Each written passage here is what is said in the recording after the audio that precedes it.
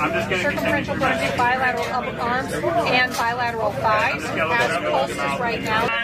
So signs of internal bleeding, I assume there are. Uh, pelvic binder, we do not have one. We replace a pelvic binder. Right. Do we have litter there? No internal bleeding was the last Is there any internal bleeding in your chest cavity? Is there litter there? One, two, three.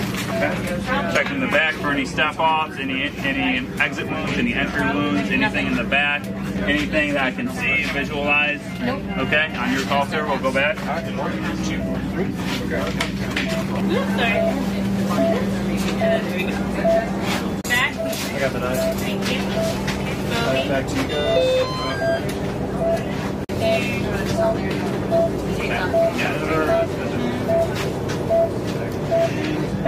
Let us know how stable we are.